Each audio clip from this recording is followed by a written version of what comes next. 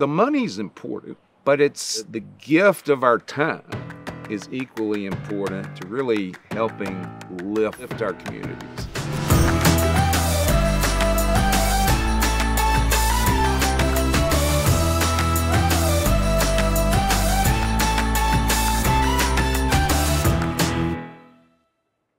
Hello and welcome to Drive, the show where we join in conversations with Chuck about what moves us forward. And today we're talking about giving back to the community. Chuck, I know this one's dear to your heart. Hey, Alan, this is uh, very dear, near and dear to my heart. Well, thanks for joining us on this beautiful day. We're It back is outside. It is a beautiful day. And uh, I know that giving is important. Why is it most important to you? Well, we, our members live in these communities. Our employees live in these communities. We're serving 300,000 members, most of whom live in the central North Carolina area. Healthy communities benefit members, employees, and so forth. And we're, you know, we're fortunate to be a prosperous company.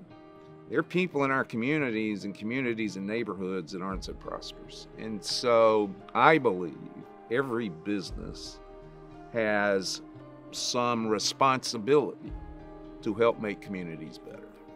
I've heard you say that there's a difference between a responsibility Right. to give back, but that's not an obligation. Right. What do you mean by that? Well, we, we, we're a regulated institution. When the regulator says, thou shalt go do this, that's an obligation. It's not a choice. A responsibility is a moral thing. And I believe every business, every company, we're earning off the community. We have a responsibility to support that community.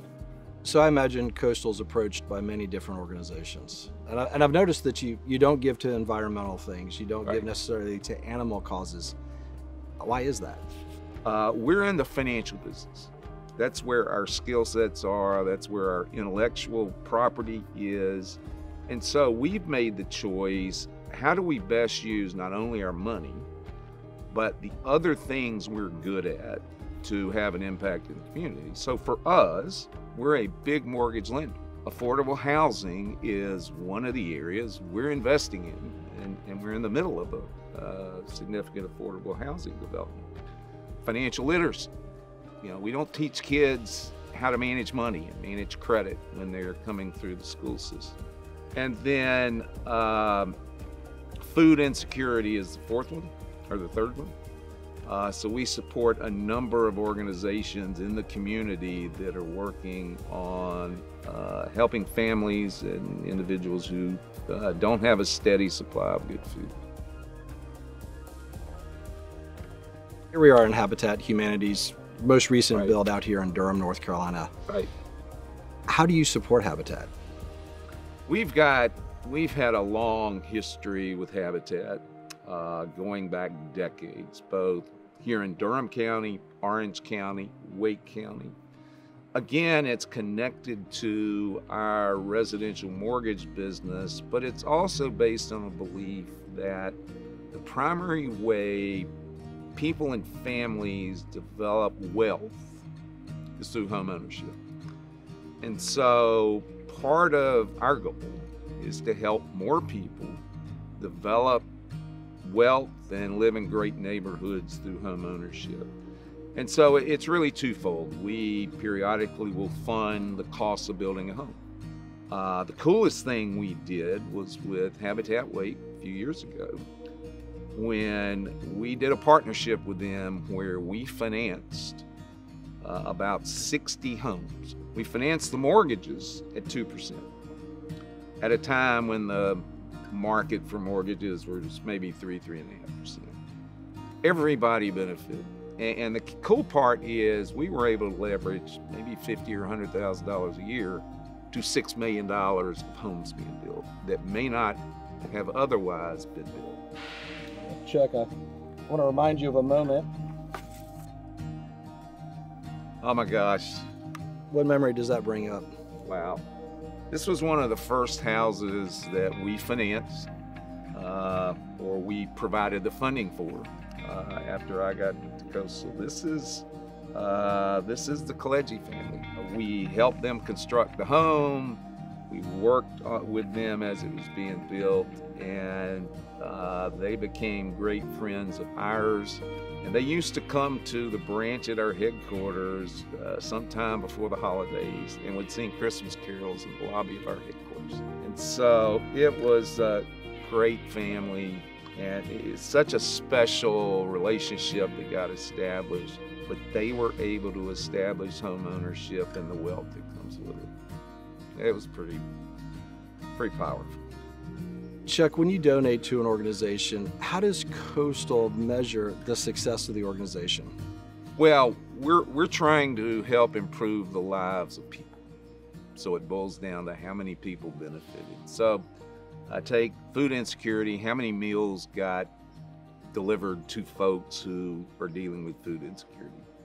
In the case of affordable housing, it's how many homes got built and how many families and people were able to uh, get the benefit of home ownership through the purchase of an affordable home. So, Chuck, I know that Coastal's been very involved with United Way. How does that fit your priorities? So, their interests are very similar to ours, but much broader. And so, we're not always the most knowledgeable about where's the need. We want to provide help for the need and I think we provided $100,000 for their uh, pandemic fund. They're best positioned to know where to put that money to work.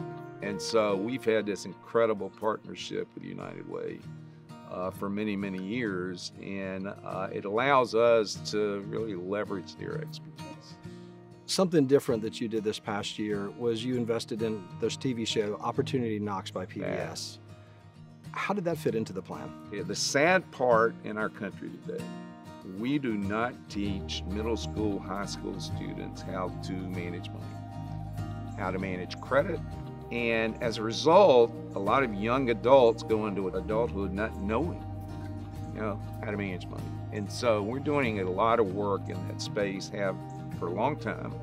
We were very involved in getting the General Assembly in North Carolina passed legislation that now requires a financial education course as part of the high school curriculum. So that's one of them. We were approached about do, being part of a PBS series that aligns families with a credit union to help solve some financial need they have. It could be home ownership, it could be saving for retirement, and we thought it was a way really to collaborate nationally with other credit unions, but in really showcasing how credit unions are able to work with families and individuals to help them solve big financial needs. So, education seems to be a significant way that you're attacking this problem. Yep. If you could click your heels together and have one big change, what would it be? We have eight cooperative principles. One of those eight principles is member education. And in our case, it's teaching them about finance and managing personal finance and so forth. I think the biggest thing is we've got to make it important and make it a requirement as our children are being educated. Uh, in many cases, parents weren't taught how to manage money, they're not good at it well, their kids are going to develop the same habits if we're not able to ensure they're educated as they're going through school. So we've talked about where you donate and you invest financially. We've talked about education. The flip side of all this is also just volunteerism at oh Coastal. Gosh. How have you inspired that? So we give every employee uh, a day off with pay during the year to volunteer however they want to. It can be church, it can be a school, it can be a habitat build, it can be doesn't matter. We don't uh, we don't decide, but we pay them for a day to do that. Our employees, just in what they report, will provide over seven, eight thousand hours of volunteer work in the community this year, and we know that many of our employees are doing that every week, every month, on a much regular basis. And so the money's important, but it's the, the, the, the gift of our time is equally important to really helping lift lift our communities. And quite frankly, it's the most rewarding part. I can write a check to Habitat and know it's going to get a house built, built do work. Actually working on the house, meeting the family that's going to live in it, that's pretty, uh, that's pretty special. What are some of the things the employees at Coastal have been volunteering for? Oh my gosh, uh, food banks. We, uh, cool story. This is Coastal's 55th anniversary. We brought in an organization uh, uh, on the day of our 55th anniversary uh, back in August. They brought in the raw materials for food packs. Our employees packed 55,000 meal packs in about five hours one day. I mean, there were four assembly lines, beat anything I'd ever seen. And it's an extension of, you know, what we're trying to do to help communities. Unlike a large banking institution that can write off these donations Right. and these investments in the community, uh, Coastal doesn't get that write off. No, no, we don't. It's- so it, it there, there's no financial motivation for us to donate to various uh, organizations. How do you justify to members investing this much money in philanthropy? We're investing in their communities. We're investing alongside them. If we can improve life and communities for everyone, our members benefit, we benefit, we get new members, uh, and it sustains itself. Everybody wants a good, healthy, safe community where everyone is prosperous. And so the more we can do to help uh, bring that about, everybody benefits. I've never had one member say one thing negative about the work we're doing, and it's very visible. I mean, we cover it in our communications with members, so they obviously support what we're doing. Do you have opportunities where members can partner with Coastal in investing in the community? You know, we uh, we've had a foundation, Coastal Credit Union Foundation, for a number of years, but it's a donor-advised fund under the Carolinas Credit Union Foundation, a collaborative effort. We're in the process of launching our own 501c3 foundation, and Coastal is generously funding today a million dollars a year into that foundation. And so, as we bring that to life next year, we are looking at ways to connect members. Maybe they help help direct where the money goes. Maybe they want to participate in the volunteer efforts. And so I think that's going to give us a platform to connect to the interest of members and, and their more local communities live. I'm going to ask you a personal question. As CEO, and you look back over your season of leadership at Coastal, where do you feel like you've personally made a difference in volunteerism and giving at Coastal? I would have to say Habitat. Coastal had funded one home when I got to Coastal 20 years ago. In fact, had funded one home up until really up until the time I became CEO. But I saw an opportunity connected to our work in the mortgage space and the housing space to really do some pretty important work. That morphed over the last 10 years to a relationship that has built 60 homes, over 60 homes, and put uh, 60 families in affordable housing uh, that they might otherwise not have been able to get. And so that's that's impactful. And I've worked on those sites. I've worn a hard hat and I've put, you know, trusses up on the top of houses and raised walls. And that's uh, that's uh, incredibly w- rewarding to do it beside the families that ultimately are going to live in those homes.